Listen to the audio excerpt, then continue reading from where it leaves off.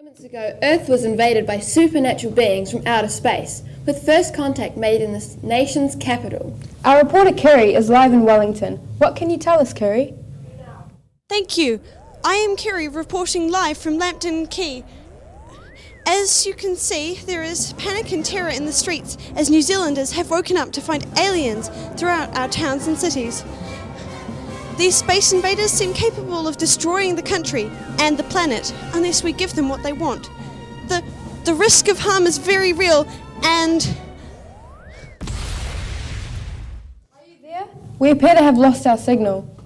Now, in a bizarre exclusive, an alien has taken one of our reporters into their space vessel to broadcast their demands. Standing by is Yuvraj. What's happening there?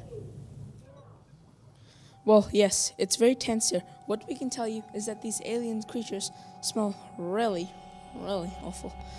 Like a mixture of pizza and garbage, sort of. It looks like that the aliens are about to address us through a special translation device.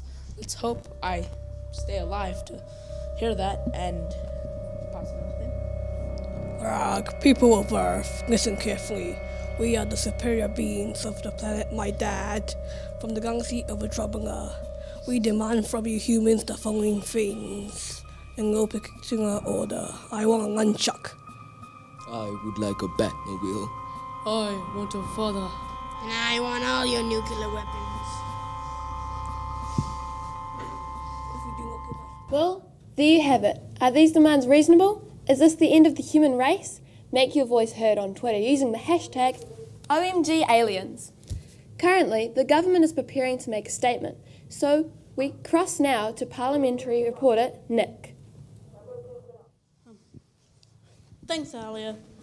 Crowds have gathered here, but many are still on their way to work. Some people are quite unaware that aliens have invaded people. Wake up and be afraid.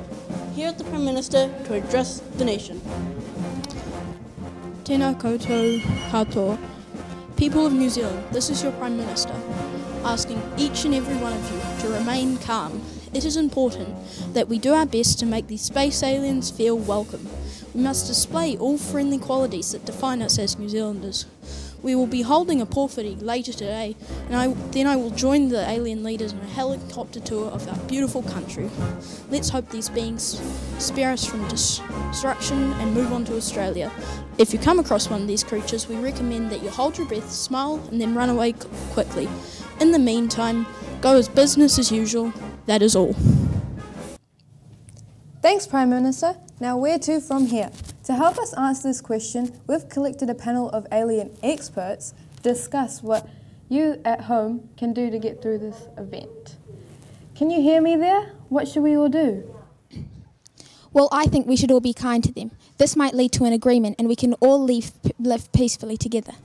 Obviously, that's completely foolish, and we should treat them with violence and discrimination because they're ugly beasts.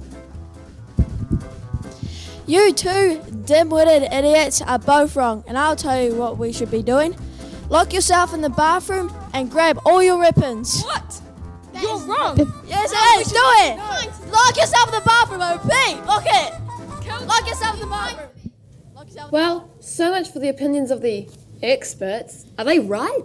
Who can tell? I guess we'll find out soon enough.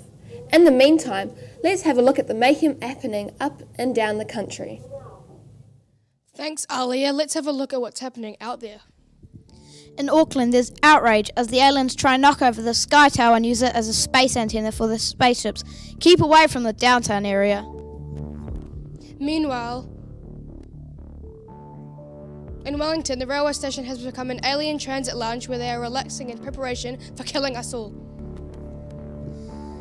Confusion in Canterbury, where aliens have formed a very strange partnership with the region cow community.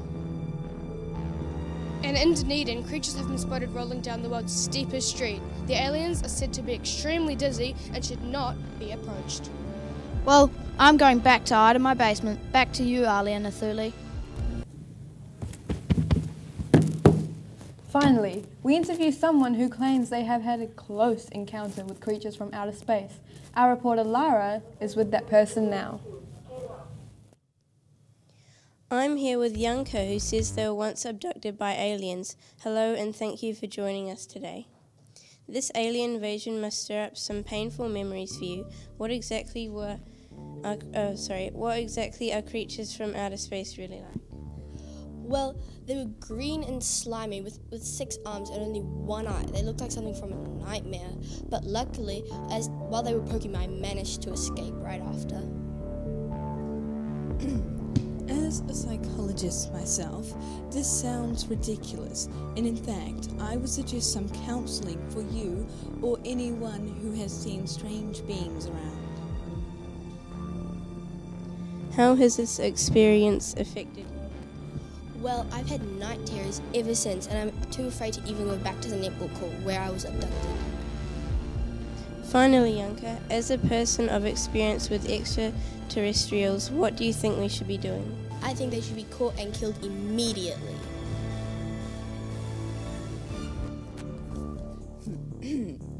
well, that just sounds totally ridiculous. Well, thank you, Yanka, very much for your time. Back to the studio. Thanks, Lara. Well, I'm going to run home to my mummy. And I'm going to eat as many lollies as I can until I get sick, or the aliens will get me. Meanwhile, stay tuned for updates or follow our live stream to watch the end of humanity as it happens. Goodbye, everybody. May these terrifying and foul smelling aliens have mercy on us all. Kia kaha, and we'll see you tomorrow. If there is one.